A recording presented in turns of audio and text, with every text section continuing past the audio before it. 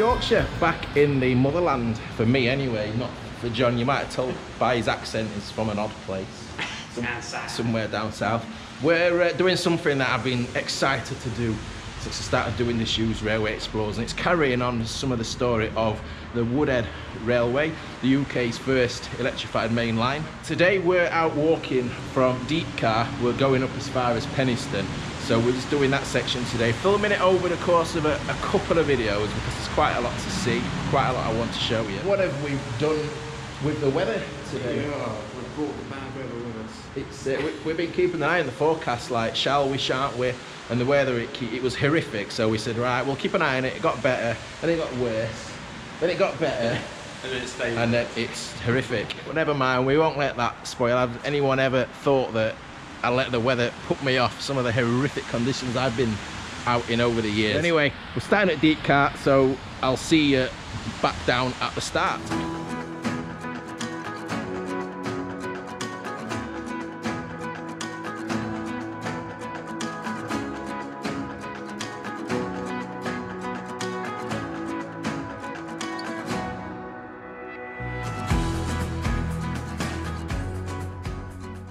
Case you don't know, the Woodhead Line was one of the main railway lines between the cities of Sheffield and Manchester. It was closed, some would say quite short sightedly, in the early 1980s. Now, it is still technically an active railway line between Sheffield Victoria and Deepcar, so we're starting our explore in the, uh, in the village of Deepcar today, which is the start of the disused section. Now, here, if I just show you, we've got the former Deepcar railway station building. It's private residence now. Um, you can't really get close to it, but look at that beautiful building. If you remember, clean the lens. Um, if you remember, we was at Oughtibridge not too long ago, um, a couple of months ago this summer. That's not that far away. That's the next hop down the line from here. There's a bridge in front. Um, so let me just explain a bit what's going on at Deepcar. So this line still got the tracks down, still technically in use, uh, but I don't think there's any trains um, regularly scheduled on it now towards Stocksbridge Steelworks, which is in that direction. Now our Woodhead line that we're going to be picking up, the disused line, leaves somewhere over there, leaves this. I'll call it an active line for now because technically it still is, isn't it? Um, so we're going to go through this bridge underneath the railway and see if we can pick up the disused track bed. It's just a bit dark, isn't it? In fact, can't even see where we're walking here. Right, so yeah, this must be the Woodhead uh, route, the Woodhead line in front then, John. Is it? Just have a look at this uh, this bridge before we get up on top of the track bed. Same as we just walked through, isn't it? So there's the bridge, up onto the track bed we go.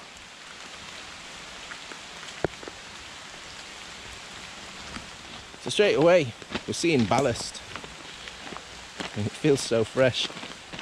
We're just uh, heading back towards um, towards Deepcar Station now down here, just to see if there's anything to spot down here. Already seeing fence posts.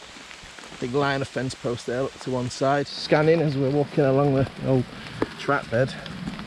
Just passing all these these posts, look. There's uh, posts there with quite a little quite a lot of brackets left left on there. Obviously for cabling. Hey, literally minutes in to today's trip and we're coming across a big pile of sleepers every one of these posts here look. Has got these brackets on.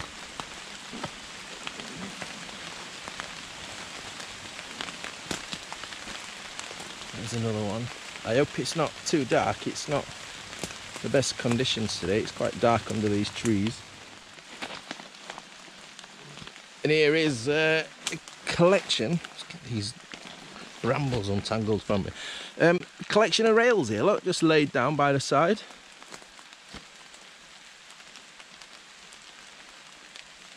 been taken up. I'm just trying to see if there's a date on there. Can't get BR 1972. These rails were uh, made so recent. Saying this line closed in 81. I don't know when the rails on this little section here were uh, were ripped up, but there they are. Anyway, I'll just make a note of this now. We've not crossed any fences. We've not even passed a sign, have we, John? Right, no signs, No, nothing. We've just walked unimpeded down this this pathway that you think was just a public footpath, and and I'm not going to go too far because I, this is what I'd class as naughty. But look, the uh, the active railway line is just here. Now I know there's no trains. Um, I'm not. I mean, look how overgrown that is. I'm not. I'm not a fan of doing this. Just gonna stick sticking the camera out of the bushes. There's the catch. Catch points there. Look. So we're on the junction now, where the uh, land se- um, line separated. There's deep uh, station where we've just uh, parked up. Just only just there. So this is can't see any platforms from here. No yard lamp. But Sheffield's in that direction. And, and in that direction, that line's curving round to Stocksbridge Steelworks. And then obviously we've just walked down this path here, um, which is the Woodhead line, which is where we're headed today. Cheers to Melv Kirkham for letting me use this photograph of the junction where we've just been stood. It's taken in 1995, so it's been disused a while, but just look how much more open it is compared to that forest that we've just walked through. So going off into the centre, we can see the old Woodhead line towards Wortley, and just curving left from shot, we can see the Stocksbridge Steelworks line. But we can see that line of posts that we've been following all the way from where we joined the track bed.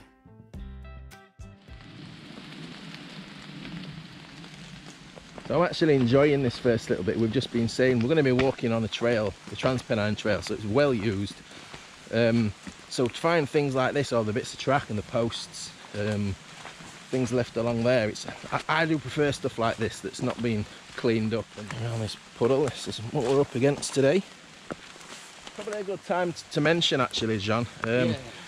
We've just had a couple of days ago. We've had storm, storm Babette. Is that how you say it? Bab- Babbitt. Babbitt. It's caused around my area, um, North Derbyshire, um, even around South Yorkshire. It's caused absolute devastation. Places I drive through every day um, are up to the top of their, their doors in floodwater, and I can't begin to imagine what that must be like watching your your home ruined like that. But I mean, just seeing on the news, it really brings it home. I mean, Yeah. the cat the, the Catcliffe from from the viaduct where we were stood last year it's just it's harrowing and places i've stood in the last few months in chesterfield hornsbridge the brampton branch down uh, up chatsworth road so um, yeah if you are impacted um, just want to send my uh, my sympathies out and hope you uh, you uh, get back on your feet soon just fetched you just to the side of the of the track bed now, just to show you these poles, uh, these posts going all the way down. These have lost their brackets, but all the way as we've been walking along, we've been seeing these all the way from the junction where we've just been stood where the railway lines are. So all the way from the uh, the junction, we have been walking down. You can see it's quite a wide um, plateau. This look, um, quite a number of sidings wide. Looks like there was holding sidings here just after the junction. I think we've got some kind of crossing. Uh, here we've got. I don't know what this was. Was it? I think it's just uh, a drainage cover, isn't it? At the side of the line, but it was the post that I saw that caught my eye. There's also. I don't know what that is. Something concrete on its side. MP. MP milepost. Right. Ah, yeah. So where's the milepost around somewhere? I think these are gate posts, these, aren't they? But it was these, look. Ah, look at these. That, that's, I shouldn't quite trust in touching it. It's never going to be live after all this time, is it? But electric, electrical cables, it's pure steel, or is it just? I'm surprised we've not seen any of the uh, the overhead um, overhead post, the, the catenary support structures. It's everything we've done on this line in the past that they've just been when we did Mottram, I think we just became so desensitized to him. We're like, oh yeah, another one of them. But normally you see something like that, and that's I think that's quite an, an interesting find. Post with the brackets on as well. I think I'll stop showing you these now. I think we've seen quite quite enough of these, haven't we?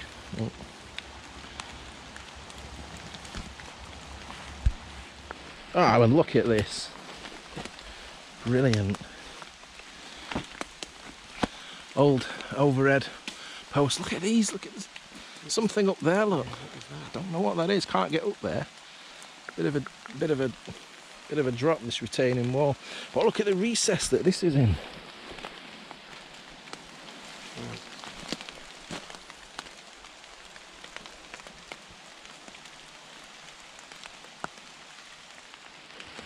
Don't know what it is. It's got a hole in this end, hasn't it? Like something threaded through it. Huge bolts. It's got some mechanisms attached to it. Maybe something to do with signalling or points, perhaps, or who knows? Look at the Hello. line of posts all the way, both sides. There's another. I can see the other. Cause it's, it's a Oh. yeah gantry at the other side as well. You're gonna be sick of seeing these by the end of today, I'm sure. Right, we just climbed off that little bit of uh, track bed we've been walking on. We're joining the, uh, the Transpennine Trail now, Wharncliffe Woods, um, Stocksbridge Bypass. Is it the 616? Remember, don't think this is the alignment and the placing of the railway line because we've just deviated off. That goes just in there at a lower level to this. Um, and this road was built after the railway closed. Right, signs for Sheffield that way. Wharncliffe Woods. We're going in this direction. A little bit of respite from the rain, John. Just did the land myself. Perfect.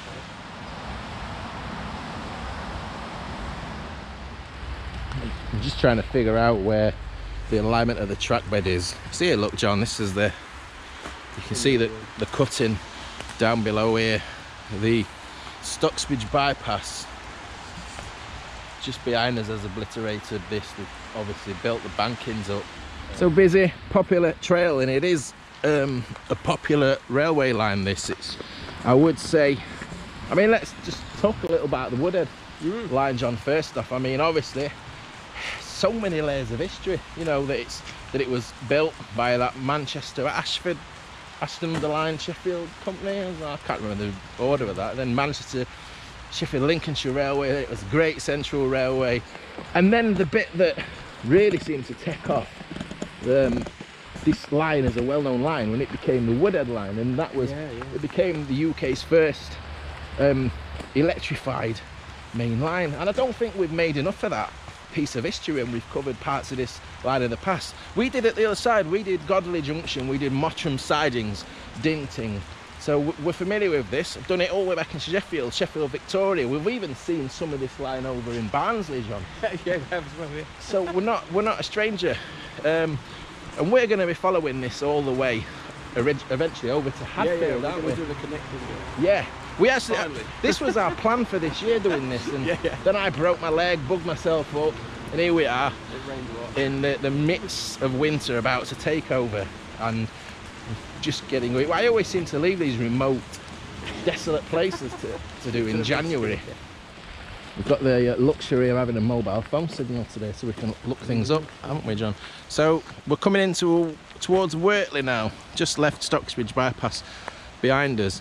Um, what's say the map's pulling up here, John? It's this Uh, sort of loading area and lots of cranes noted on the map. right, and this is a map from around the turn of the uh, the 20th century, isn't it? So yeah, in here, show you can see there's a a large flat area.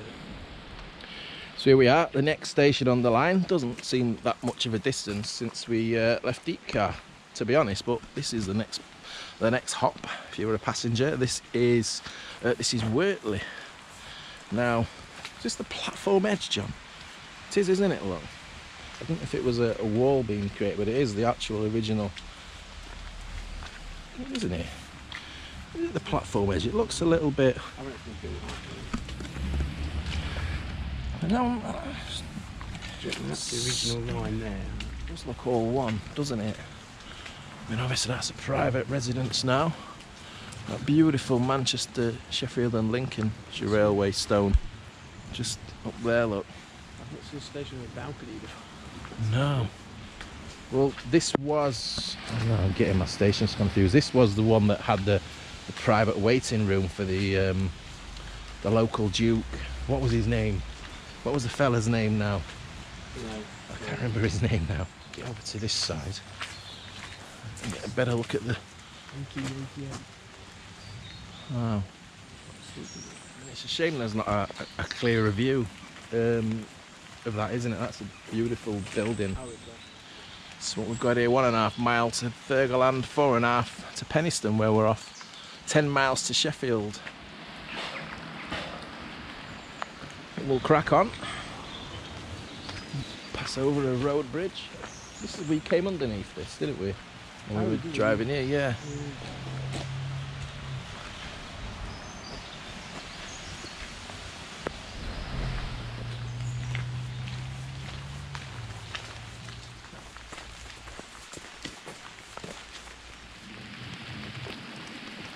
With the weather, I think we're danger of just getting his heads down and, and stomping through. Um, but look at the enormity of this cuttings that we're walking through.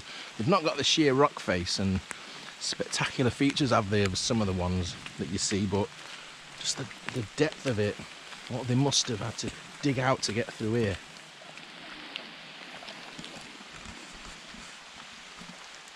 I've actually seen more horses than cyclists today. Why not many? Bursting out of the cutting. That's hello. All right? That's the the first bit of open scenery we've seen today. This reminds you that you are in a nice, nice part of the world. It's opened out again, hasn't it, John? Yeah, it's, yeah, it's another wide, wide area that we're sat on. We've just come out of this cutting. Mm. Now, concrete block. Oh, there's two. Now, first, uh, just be careful I don't topple down there. Um, yeah, be concrete blocks with the the bolts sticking up. Now, are these part of the overhead line system, or are these, or is this something else like a signal or or something? I make no apology for uh, for showing you bases of posts that are no longer there today. We've stopped here because we've been looking for this spot um, on the maps as we've been walking up. Thurgoland Coal Branch deviated uh, to the right hand side of where we are. We're long gone. I think even on some of those old maps, it's showing as a disused railway, isn't it? So I, I don't know. Um, is doable. Um, just in here, there's I can see it's not easy to get into. Stinks a bit actually. Um, where's there's a recess here somewhere, John? I've just been seeing it. I've lost it. Um, there's a signal box on the old map. There is indeed. This is the recess I've just been talking about. It's not the greatest of ground to get through. Um, make it onto here. Can you see that? Can you see the recess in the in the rock cutting? They've actually made uh, a square or rectangular recess in the rocks. Wondering if that's the location of the signal box there. Mean, it's it's man-made for something, that isn't it? They've not just thought, oh, let's cut out a, recess in thick limestone just for the, the sheer fun of it. And it's not very clear definition, but there is the branch line, the Thurgoland Coal branch. I can't remember off the top of my head which colliery is that served now. Um, but there it goes. So this is uh, this is Thurgoland tunnel ahead. We'll get to that in a moment. There's a collection of uh, collection of posts, some, some information boards, some benches, information board about the tunnels. Not too far to come. We've just been having a discussion, me and John, uh, pronunciation. We've done Cuddiff, haven't we? You know how that's Could have. We were just looking Th- Thurgoland now. Thurgoland, but I think it's pronounced Thurgoland. Just roll off the tongue. No go. Thurgoland. Um, but Thurgoland had a station. Um, it's not here anymore. There's no trace apparently. But I think it was around where this bridge is here. Um, I say it had a station. In 18 months that station existed. I don't know the reasons why.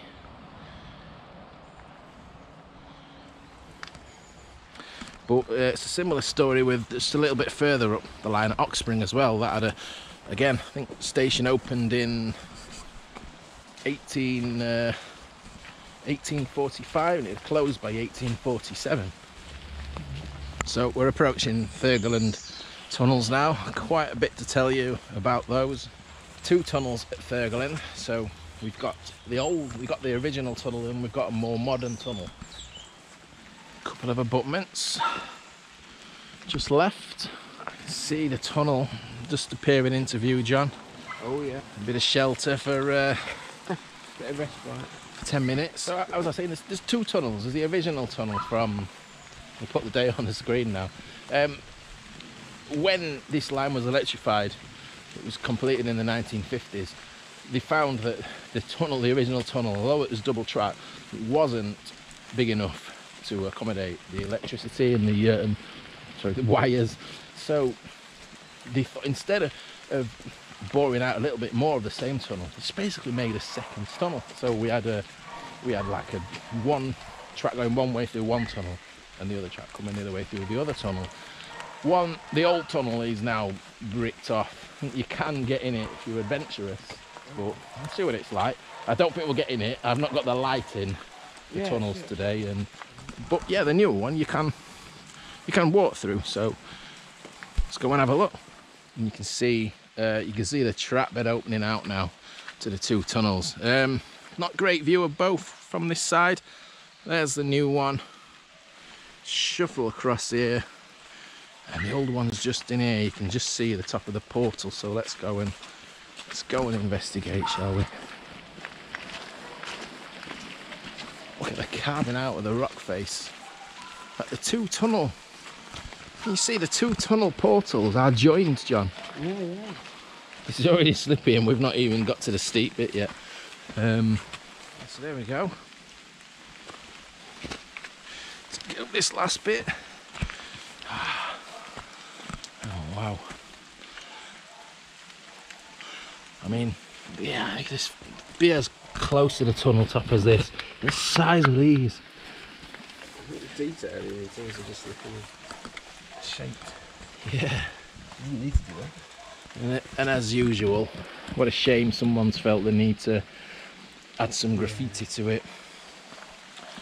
But what a beautiful, it's on the top bit, beautiful uh, portal. My other problem is, uh, since doing my leg and my knee, and I can't kneel down, I can't even crouch at the minute. Um,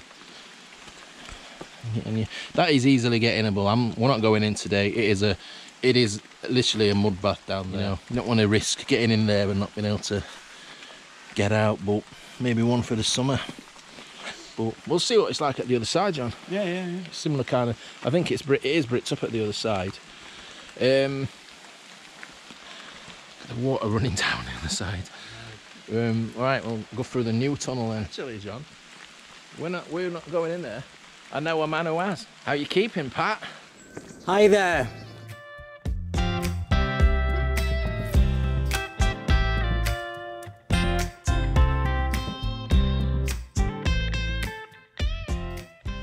Right, so we've seen the entrance, the northern portal, no, the southern portal, sorry, to the, uh, the old tunnel. Now we're going to walk through the new tunnel. Ah, look at it, it's well lit, John, and it literally looks so inviting. We should have just spent four hours recording in here instead of getting wet today.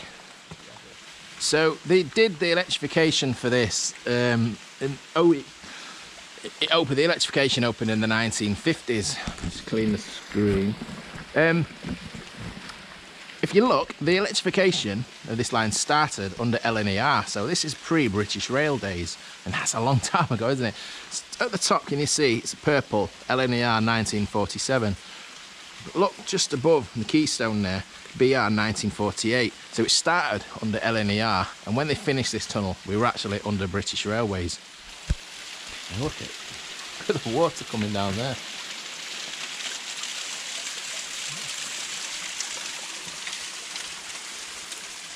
Right, let's take a, a, walk through. It's not tremendously well lit uh, in here. I mean, look at the there, the brackets. You notice there's a strip. Can you see the, the darker strip? And that's protection for the tunnel because it did still see steam trains service. Wow, you can hear the echo already. Plate, it's that plate reverb. Yeah. Wow. Hello? Oh gosh. Comes back, doesn't it? I don't know if the sound's coming through on the camera or not. That that is you can you can see you can still hear John's hello. Wow. It's amazing.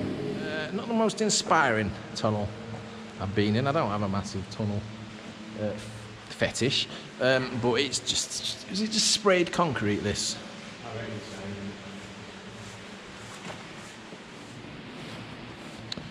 We're assuming the brackets on, on the, the roof is for the overhead line equipment. Other than I thought. I thought this is only a, a short one. I've never been through this tunnel, by the way. Although I know the area and I've visited sections of this line and various points, I've never walked down the whole uh, the whole section. So this is a new experience for me today. And here we are, bursting out. You know, part of me, John, was this little part of me wanted to burst out the other end and it'd be like a glorious sunny day. Yeah, yeah, yeah, yeah. like when you go on the, sometimes when you go on the train to uh, Grindleford, yeah, yeah. You go in top the tunnel in one climate, come out yeah. completely different weather system. Waterfall at this end as well. Uh, there we go, same again. Can't see the top stone. Um, it's raining heavier now. But yeah, BR 1948. Yes, I can see that LNER 1947 and a retaining wall on this side but yeah it bursts us out into another another cutting. Uh, and down this side should be swing around should be the other end of the old the old tunnel.